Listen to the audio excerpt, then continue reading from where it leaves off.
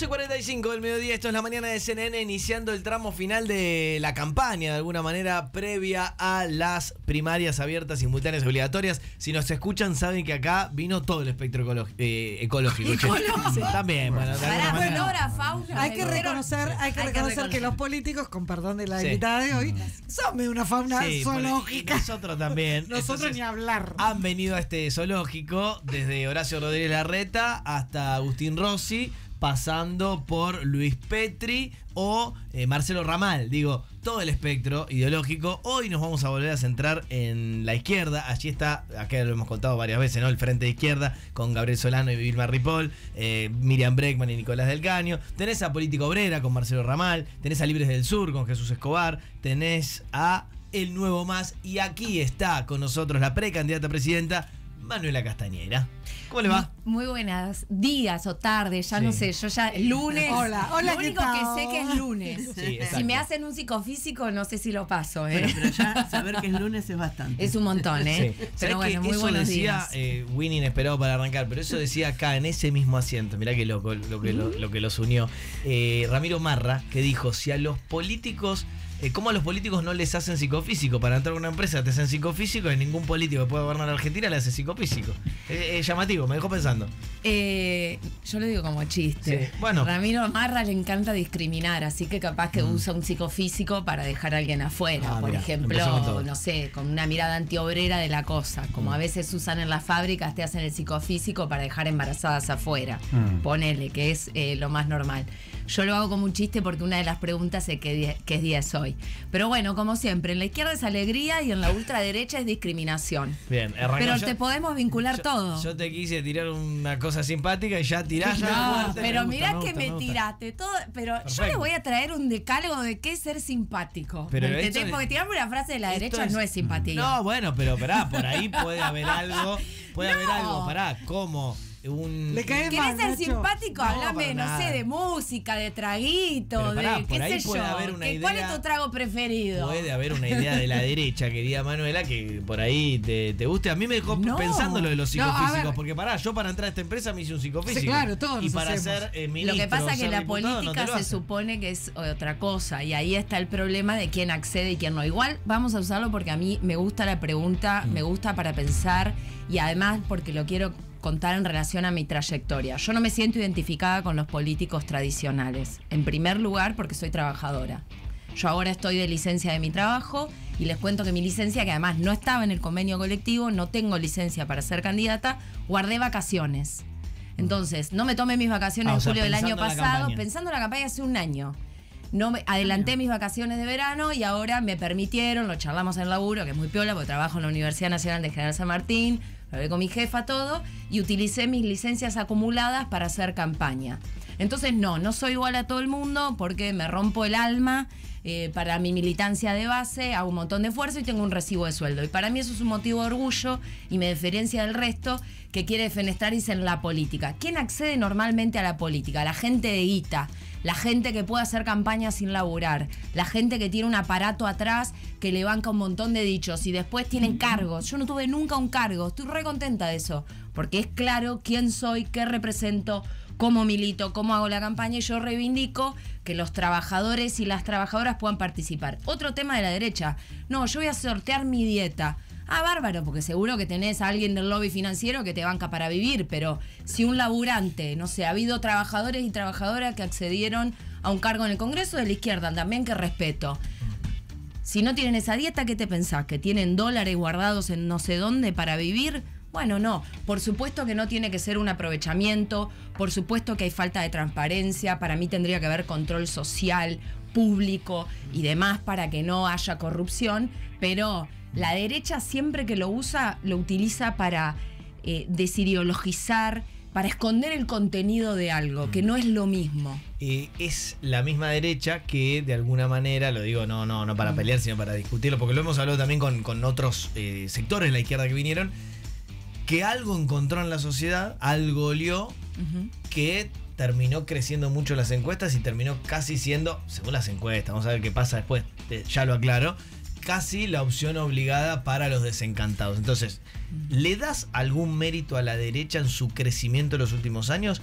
¿Y hay alguna autocrítica de la izquierda para, para con eso? ¿Cómo lo ves vos eh, este asunto? ¿Cómo lo veo? Veo una sobrevaloración de la derecha y una subvaloración, subvaluación de la izquierda que tiene orgánica social, existe en la Argentina en el día a día fuera de redes sociales. Además hacemos redes sociales y también tenemos ondita. Y cuando lo hacemos nos critican. O sea, si yo bailo en las, en las redes sociales, escándalo. Si la ultraderecha baila, está re bien. Y bueno, porque Para medir la vara. Pero eso es porque ustedes protestan contra el capitalismo y la derecha no. Y las redes ¿Y qué sociales son un producto No, ¿qué simbólico de, la- de la- casi bueno, todo. es- eso es concederle las redes sociales y conceder cualquier cosa que sea producto de la sociedad, producto del trabajo humano o un canal de expresión a el capitalismo. A eso ya tiene contenido. Esa mirada tiene contenido. Sí, claro, sí, las claro. redes sociales se han utilizado para convocar en la Plaza Targir, ¿me entendés? En la primavera árabe. Se han utilizado para convocar a movilizaciones en todos lados. La usamos con la marea verde. Hay una reversibilidad de la técnica. Bueno, Ahí tengo una mirada más. Decías Pero bueno, sub- subvaloración. subvaloración. ¿Por qué? ¿Qué te digo de la derecha? No, y además por lo de la pregunta de la autocrítica.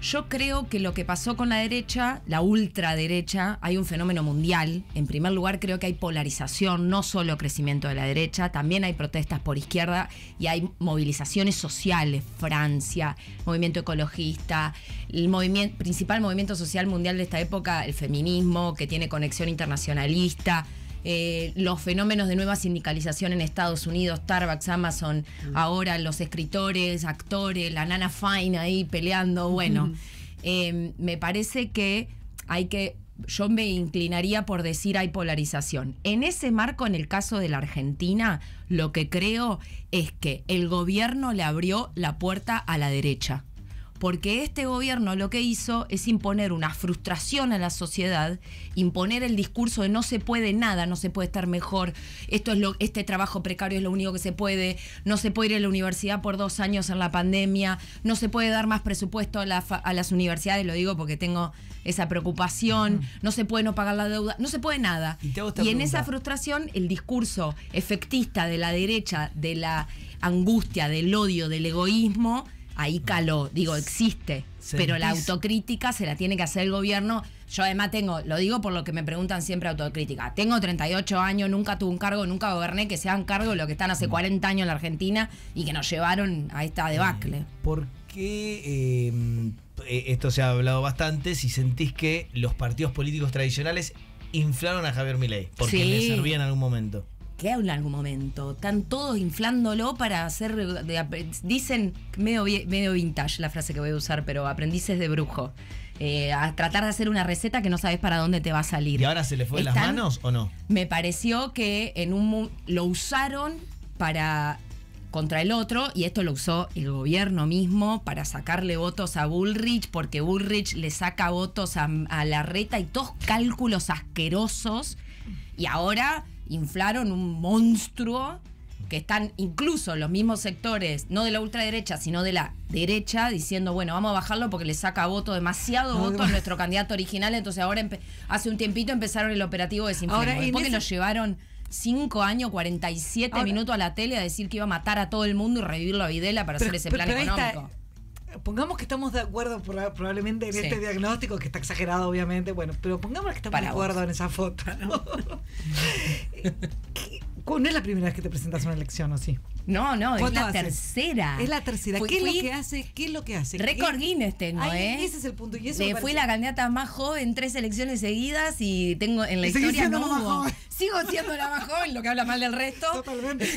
Sigo siendo la más joven, eh, en general joven y mujer, lo que le agrega Ah, un componente, ¿me entendés? Repolenta. Pero ahí está el, el punto que, que te decía Nacho. ¿Cómo puede ser que vos hace años que venís trabajando, que venís militando, etcétera, hay una sensación de frustración, de descontento social, etcétera, y ustedes no logran capitalizarlo y sí te aparece un Milei que en dos años se presenta candidato a presidente Bueno. con muchas parece- chances, con chances de que le vaya mucho mejor que a vos. No, con todos pa- los condimentos que vos podés mencionar, si querés, te Es lo que puedo no son condimentos, le estás cediendo un montón a la derecha con esa frase y sé que no es tu intención, pero ahí hay un montón de preconceptos que le ceden, ¿me entendés? Como la izquierda tiene otro tipo de trabajo. ¿Por qué no crece la izquierda? Crece, es que eso es lo que no tengo acuerdo. Lo que pasa es que vos solo mirás un resultado electoral y para mí la Argentina Argentina no son solo los palacios, también son las plazas. Argentina es uno de los países más peculiares donde hay que mirar instituciones y democracia directa, ejercicio práctico de la pelea por derechos. Ahora, y ahí no está la ultraderecha. La plaza contra el 2 por 1 la marea verde. eh, no sé, yo fui a la calle contra el intento de magnicidio de Cristina en esa plaza que no convocaron ni organismos sindicales orgánicos ni nada, pero fue la gente y le puso un freno al discurso a la derecha. Fue por más que no soy kirchnerista, pero lo digo porque hay que ser coherente en la defensa de las libertades Ahora, te- te democráticas. digo- te digo esto porque se- está eso de- me parece que solo mira, no, crece la derecha es el fracaso de la izquierda. Ahora, Ahí pará. está lleno de preconceptos. Bueno, pero pará, aún tomándotelo, yo si fuera la izquierda, digo, soy Sí. periodista, si fuera dirigente de izquierda, me uniría y haría una paso. Ah. No estaría desperdigado en cinco partes. Eso, eh, sí, eh, estamos a la ¿qué- última bueno. semana, lo dije tres meses, Bueno, Nacho. ¿qué, qué pasa? ¿Por ¿Qué qué, pasa? no? ¿Por qué no? Yo lo intenté, te- también te pregunto, estamos en la misma. Eh, hice una propuesta de paso, a mí me parece que era un momento donde había que unificarse para tener una voz más potente por todas estas cuestiones que efectivamente nos minan el camino ¿Y en el por qué proceso no electoral. la PASO? No me dieron la paso. eh, no me la dieron. ¿Por qué crees? Yo creo que no me la dieron. Lo dije en un montón de lugares porque. Está bien, pero esto es CNN, te escucha un montón de gente. No Si quiero no que se invitamos, ¿qué cansen. No, no, no, perdón. No me dieron la paso porque creo que Miriam Breckman, a quien respeto como militante, pero nada, hacen un negocio con la paso. Porque la paso es un problema en la Argentina. Ojo, Bueno. yo. Yo creo que ha generado un mecanismo de vaciamiento de lo que tiene que ser el proceso electoral, porque se esconden todos detrás de las caras y no de los programas. Mete a la Argentina en una interna sin fin, donde no terminan de discutir qué quieren hacer, aunque ahora se discute más. Me parece que hay que ir directamente a octubre, a hacer una elección general y que los partidos hagan sus internas internamente. Estamos todos metidos en la interna interna junto por el cambio. Mm. En la interna del peronismo. A mí qué me importa, yo no tengo eh, interna y tengo que ir igual y te ponen un piso. Y al ponerte un piso también te dejan afuera de la general. Eh, Hay un mecanismo ahí, la paso. Manuela Castañer- sí, yo creo que lo que hizo el FITU, sobre todo Miriam, es usar la paso como un negocio para ver quién pasa y quién no pasa. Y ahí hay un gran problema porque siendo de la izquierda hay un vínculo entre fines y medios que en el FITU está quebrado y los está llevando a la interna fraticida, sanguinaria, sin principios que están teniendo y que es un error. Entonces eh, se dicen cosas indecibles las acusaciones, no son un debate político, son acusaciones de principio. Entonces a mí me parece que hay que renovar a la izquierda, que hay que hacer otra cosa, que la izquierda en las elecciones para combatir a la ultraderecha tiene que aportar ideas, tiene que mostrarse unificada, tiene que tener un discurso verdaderamente anticapitalista. Creo que ahí eh, me parece que terminan, algunos sectores del FITU terminan criticando por derecha al gobierno, lo que es un error. Nosotros tenemos que mantener nuestra crítica desde el punto de vista de la izquierda.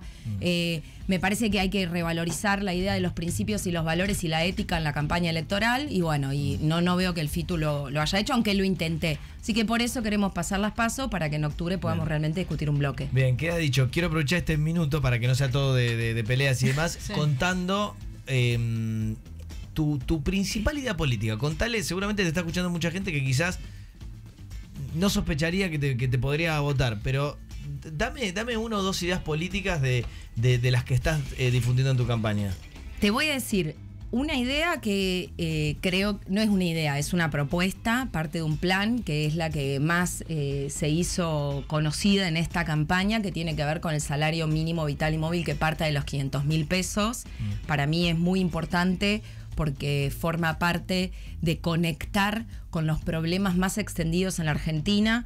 Uno es eh, que los trabajadores conveniados están debajo de la línea de pobreza y el otro es el multiempleo. Digo, recorrí bastante el país, aunque es grande, no se puede todo, pero eh, llegás a lugares como Córdoba, Mar del Plata, fui a Paraná Entre Ríos, Rosario y te dicen tengo tres laburos, uno monotributista, cobro 100 lucas, la línea de pobreza están eh, 300 creo. Y dan los números de Argentina porque el salario mínimo está en 105 y actualizándose. Está, o sea, está Sí. muy lejos de eso. Para nosotros sí, porque tendría que salir de la ganancia, no de la emisión, así que no lo vemos como una medida netamente inflacionaria como se busca presentar al único. Pareciera en los que discuten la macro que la única variable que genera inflación es el salario y la paritaria y no la falta de reservas, por ejemplo. Entonces, Para nosotros sí es una parte de un plan que apunta a redistribuir los recursos, a una reforma tributaria para que no sea regresiva como es en la Argentina, que se financia del IVA y del impuesto a las ganancias, eh, y eso es un escándalo. Cuando a veces me dicen, eh, ah, trabajás en la universidad, te pagamos el sueldo, no, técnicamente me lo pagan los pobres, ¿sabes? Porque el Estado se financia del IVA. Así que ese discurso resentido de derecha, eh, guárdatelo. Eh, lo dice Manuela Castañera, precandidata a presidenta por Nuevo Más, que es socióloga, aparte Sí. digamos, de, de- de- presentarse a elecciones y que ha tenido la amabilidad de pasar eh, por aquí y que se puso, nos ayudó a hacerlo entretenido. La verdad, Siempre. Se me pasó Bueno, volando. Me Eso es lo bueno de ser la candidata más joven de la elección y de izquierda. Hablas de la realidad, le pones onda, no estás acartonado, no tenés que ver, ¿me entendés? No Imagínate, coach, te viene decís. Picheto y te dice, no se puede tomar mate porque da mala imagen. Pará, lo viejo y nada. Cierre con todo. Y cierro con todo. Domingo 13 somos la lista 13. Por favor, acompáñennos. Necesitamos ese 1,5, casi medio millón de votos para pasar las pasos y que la discusión del salario esté en octubre. Y así cerramos eh, con otro entrevistado, entrevistada en este caso, de la mañana de CNN. Gracias a todo el equipo.